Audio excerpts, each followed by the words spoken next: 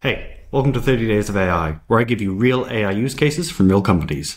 Today we've got an onboarding use case for an employer of record. So they're onboarding other people's employees, but this could be your employees, could be your customers.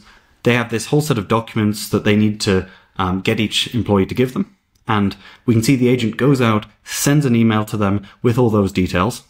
The employee can come back with questions. The agent is happy to answer them. Uh, and they can also attach those documents directly in the email. Uh, the agent will look at them and process them. And we can see this one, there's a bit of a problem with one of them and it's asking us for our approval. So um, if we take a look, we can see um, the instructions they're checking against and also what the AI is telling us. And it looks like in this case, the document is just outside the 30 day window.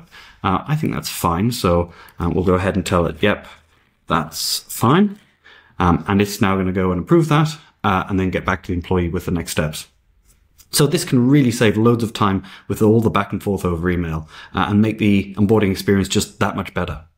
Follow me for more uh, inspiration and comment if you've got a use case that you'd like me to cover.